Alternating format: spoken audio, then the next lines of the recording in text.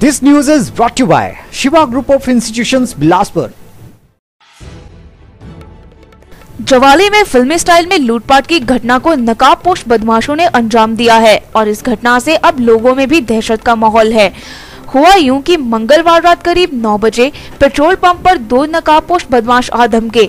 एक के हाथ में चाकू और एक के हाथ में पिस्तौल थी। फिर क्या था? सेल्समैन राकेश कुमार व कमल सिंह को डराकर वे करीब पचास हज़ार का कैश ले गए।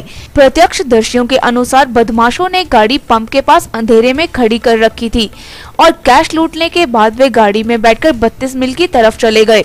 बदमाशों के जाने के बाद सेल्समैन ने इसकी सूचना पंप के मालिक को दी। फिर पुलिस को सूचित किया गया। पुलिस ने केस दर्ज कर कार्रवाई शुरू कर दी है।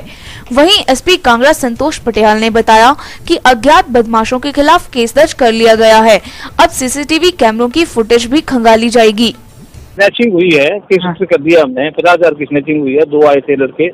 नकाब को उस टाइप ने मुँह पटके लपेटे थे। वो स्नैचिंग करके ले गए हैं।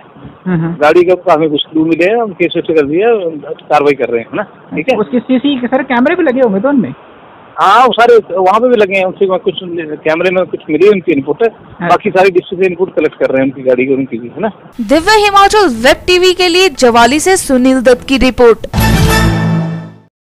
Shiva group of institution Bilaspur एक वैल्यू बेस्ड शिक्षा संस्थान B BTech polytech B pharmacy B pharmacy practice diploma in pharmacy B M S B Ed college गुणवत्ता सहित संस्कार मिश्रित विश्व स्तरीय शिक्षा शिवा ग्रुप की पहचान है।